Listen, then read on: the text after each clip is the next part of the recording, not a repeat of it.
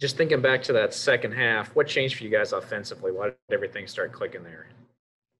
Really, I mean, we went into the locker room and we just kind of said we just got to keep playing our football. It's all about us. And uh, we came in, made a couple of adjustments, but nothing big. We said we just got to start playing our football, and that's exactly what we did. We came out and we started executing. That was the biggest thing was just got to start executing. Plays were there. We just got to go make them.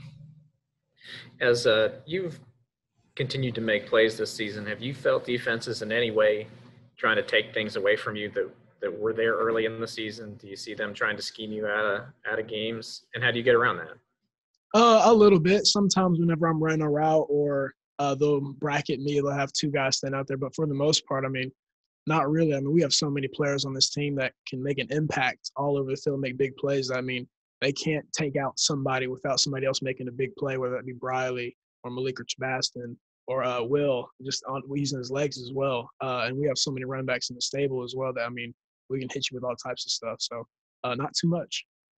And uh, last one for me, what was it like being part of this rivalry for the first time? It was it was surreal. I mean, all week, I mean, we were all we talked about was doing it for these Kansas boys that maybe were overlooked by Kansas or were shoved to the side because they weren't good enough to play for them. We said we're gonna go do this for y'all, and I mean, it was it was fantastic getting out there to play with my boys in my first Sunflower uh, Showdown. Mitchell. Hey, Deuce, you know, the, something you were just mentioning there were guys that, that felt like they were overlooked. And I, I assume that was something that you were, it was easy for you to get behind as a guy that that's kind of been overlooked, right?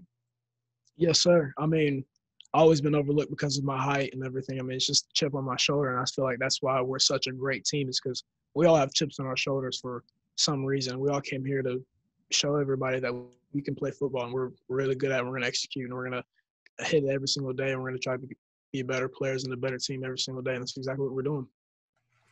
So now I think it's pretty accurate to to say that you're not you've proven that you're not a flash in the pan type of guy that you've for multiple games now have been a valuable contributor for for multiple wins now. So what what does it say about you as an athlete that you've been able to have so many games now where you've been a a, a big part of the these wins?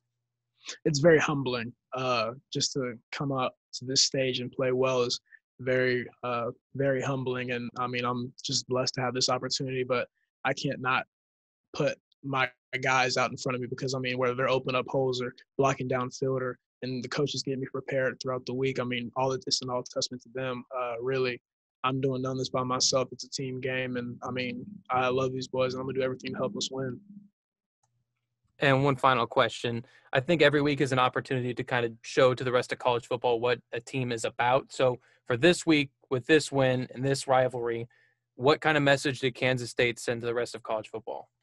We're going to do it together every single every single week for 60 minutes on that field. We're going to do it together. We're going to play as one. We're going to play as a team. That's what we preach every single week is that we're going to do this together. And I mean, we're so strong whenever we play together that it's, I mean, it's scary. And I mean, I love this this team. I love my coaches, and I know they love me. And we're gonna go out and we're gonna do it every single week for each other. Yes, sir. Appreciate it, man. No doubt. Ryan.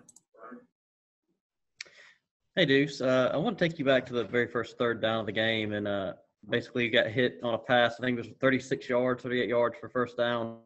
Uh, were you surprised you were that wide open, uh, uh, just given how much attention that we've talked about seems to be heaped on you now week in and week out? A little bit. Uh, I mean, I didn't get my head turned around quick enough because uh, I was running. I thought somebody was on my hip. When I turned around, there was kind of a guy that was like five yards behind me, and Will was kind of just staring at me.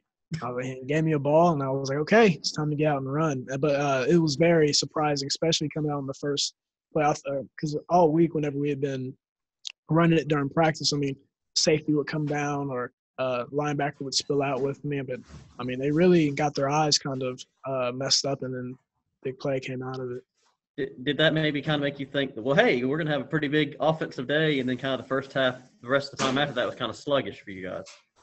Um, at that point, I mean, really, we were just trying to keep our mojo and trying to get our mojo in the game. I mean, just staying on the field is something that we're going to have to work on. But I mean, whenever we get rolling, I mean, we can do a lot of damage, and then just making sure that we keep even, even kill, even when we, we go three and out. It's like, all right, next possession, next play, next play, next play. That play's done. Next play, next play.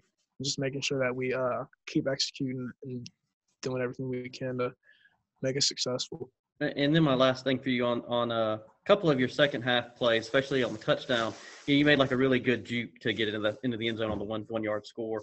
Is that something that just naturally you're good at, or how much do you have to practice the footwork on moves like that?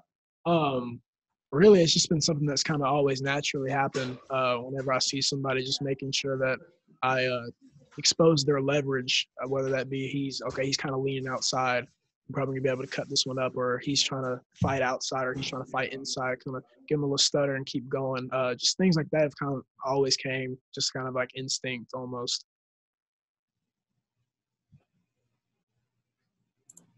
Last one here, John.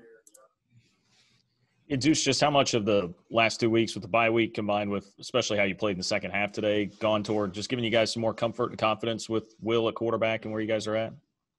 I mean, just taking it play by play, play by play, and just just going out and having fun. Really, I feel like Will, as the game went on, he started to sit in there, and you saw some throws that he made were were pretty spectacular. I mean, whenever we get rolling, that's I think that's the thing that we need to start doing better is getting rolling earlier in the game and making sure that everybody's getting touches and everybody's uh getting out there making the routine play so that we can go make the explosive play and everything like that. Whenever we can do that, I mean, I feel like we're we're pretty dangerous.